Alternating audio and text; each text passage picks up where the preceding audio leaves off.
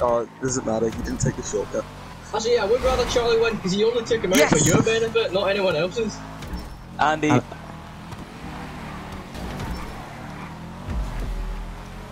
oh, stupid lampposts. These damn, these damn electricity pylons.